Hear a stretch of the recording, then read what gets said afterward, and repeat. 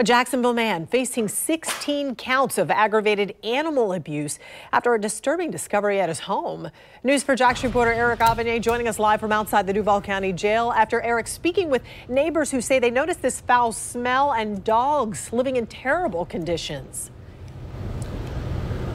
Yeah, the suspect uh, who is now in police custody here at the Duval County Jail has been identified as 20-year-old Eugene Mercer III. Now, when the investigation first began, he was originally uh, uh, basically hit with six misdemeanor citations from the uh, animal control officer, uh, basically saying that he was not taking care of his dogs. However, the prosecution, the prosecutors in this case decided that they were going to hit him with a felony, and that's where we are right right now. And I do want to warn you uh, that what you are about to hear in this story may be considered disturbing for some viewers.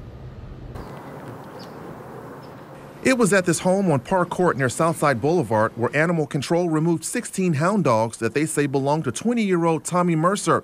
According to investigators, the animals were severely emaciated, sick from sitting in their own feces and urine inside these kennels, covered in open sores and infected with worms. Neighbors tell News4JAX the smell coming from the backyard was unbearable. We couldn't be outside because the animals smell. Neighbors also say they could hear the dogs crying. And not like normal dog whimpering, like wanting to come inside, but uh, it kind of broke our hearts hearing it. You could tell something was up. Did it sound disturbing or did it sound normal? Disturbing, because we wondered if, you know, if they were fed According to investigators, there was no food in the kennels, and the water that was left in the bowls had a green color and not considered clean drinking water. Mercer's grandfather owns the home, but says he and his wife were out of town when animal control showed up. He says the dogs were well taken care of and disputes the complaints against his grandson. He was feeding the dogs, taking care of them.